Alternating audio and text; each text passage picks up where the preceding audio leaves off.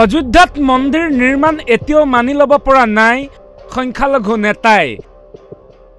বিশেষকৈ হায়দৰাবাদৰ সাংসদ আছাদুদ্দিন অৱেচি মছজিদৰ দাবীত হৈ আছে অনমনীয়। দেশৰ আগশাৰীৰ মুছলমান নেতাজনৰ মতে অযোধ্যাৰ নিৰ্দিষ্ট ভূখণ্ডত মন্দিৰ নিৰ্মাণ কোনোপধ্যেই শুদ্ধ নহয়। কিয়নো উক্ত ভূমিত বিগত পাঁচশ বছৰ জুৰি সগৌৰৱেৰে মছজিদ থিয় হৈ আছিল।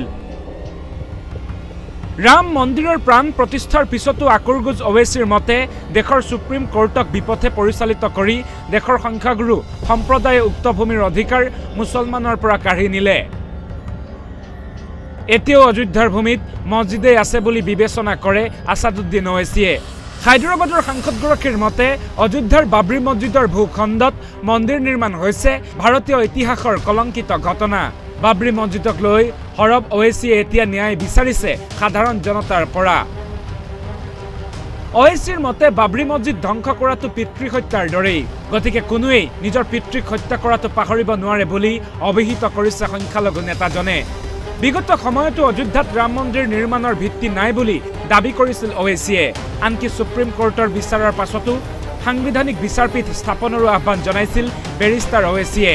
তেওঁৰ মতে অযোধ্যাত মছজিদ আছে আছিল আৰু থাকিবই। নিউজ এক ৰিপৰ্ট বাৰ্তা এনি।